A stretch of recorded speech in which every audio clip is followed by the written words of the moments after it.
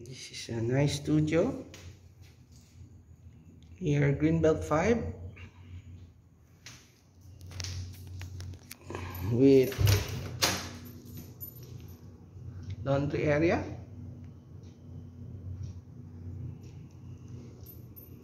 Cabinet. Balcony. Kitchen.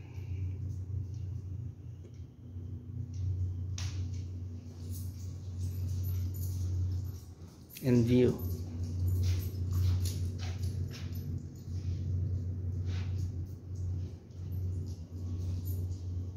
CR.